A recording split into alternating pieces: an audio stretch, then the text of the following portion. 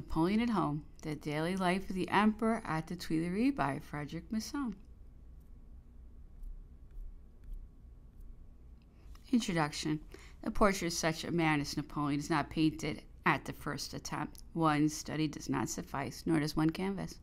To attempt, after the lapse of almost a century, to represent so difficult a model with at least some appearance of truth, it is necessary to become imbued with his personality under every aspect which it assumes according to the time of the day and the variation of the light, to neglect none of those methods of procedure which tend to the acquisition of a portion, however slight, of the actual truth, to study each line, to detail each wrinkle, to photograph each surface and each curve of the countenance, and to relax the work only when it has been carried as far as the resources of art and the most scrupulous attention will allow for the accessories and for each one of them. The same labor is required. They must be isolated and the construction of each one separately investigated. They must be dissected for in each. He has probably included something of himself. They must be grouped together for it is essential that he should be placed in his own surroundings and move in his own atmosphere. These are the sketches which a painter careful of the truth must fill in before approaching his canvas.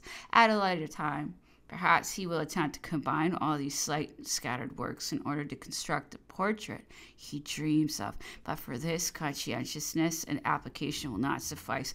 In vain he will endeavor to combine his studies, yet never will he succeed in representing as he conceived it, illuminated by the glory which flashes from it, the sovereign image of him who among men was the nearest approach to that which is called a god. Possibly even he will never attempt it, so does he feel his efforts, so unequal to the task his power, but these studies which he has prosecuted with absolute sincerity he may hope will preserve in the eyes of the public their truth and their characterization, and that they will, at a later time, furnish some one more skillful with the features and expression of nature. And it is for this reason, knowing that life is short, that he sends them forth from his studio and exhibits them. Such is the scope of these volumes. They have no pretension of offering the last word on him about whom history will occupy itself unceasingly. Their aim is simply to fix certain guiding marks and to bring into prominence certain characteristic facts before every attempt at synthesis. It is by a succession of analysis so accurate and minute that we must proceed. And these volumes contain, according to the term used in Germany, no more than contributions to history. In a previous volume, I attempted to define the extent and nature, in the case of Napoleon, of his taste and feelings towards woman, how far his senses affected him, how far his feelings might have been modified either by education or by his exercise of supreme power, however he was affected outwardly and inwardly by that strongest of all passions, love. I shall attempt later to determine how far he was acted on by hereditary notions of family feeling, the developments he gave to them, and how far he yielded or resisted them. For it is this feeling which, after love, is the least conventional, the one which man holds most directly from nature. Afterwards, I shall investigate the treatment he adopted towards his fellow creatures, women in particular what lot he assigned to them, what duties he traced out for them, what relations he had with them. Apart from love, for woman is the principal bond of all civilized society, and the social being which man is only becomes intelligible and definite by his relations with women. Side by side, and this is the aim of another series of investigations of which I publish here the first installment, I propose to give a detailed account of these habits and the rule of life which Napoleon laid down for himself to describe his dwelling with exactness, to follow him about it for a whole day, from morning to evening, in such a manner that the reader may be able to arrive at clear ideas when he is spoken of, so that he may figure him, if not as he was actually, at least as it is permissible after a century to suppose he was. Having thus described the daily round of his existence, it will be necessary later to describe his entertainments and the pleasures which the emperor gave to his court rather than to himself, the plays, concerts, the balls, and then to make the retinue of public appearances pass before us and to display the whole pomp of the ceremonies.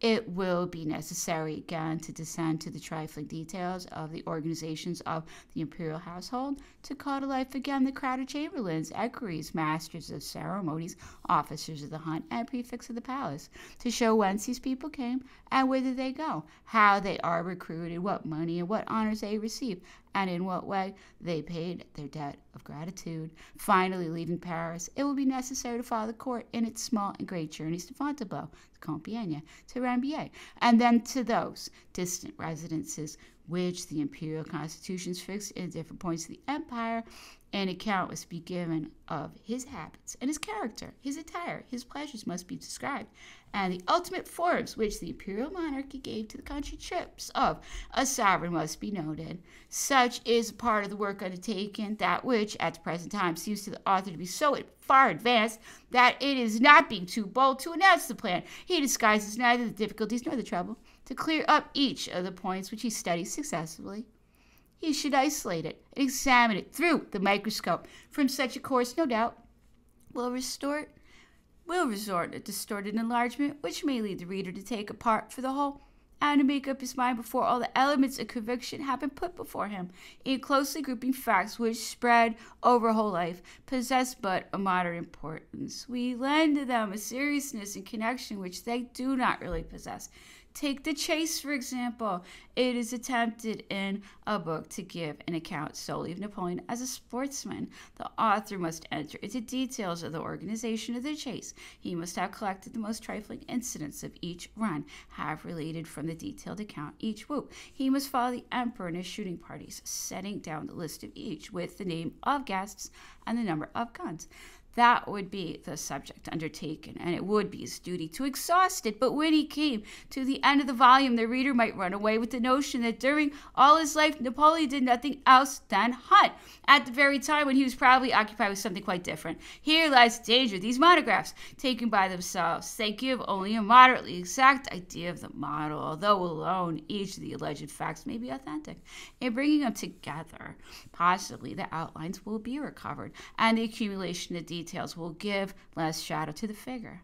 But beyond this, what system can be adopted which allows of the acquisition of precise notions and which does not offer more serious evils?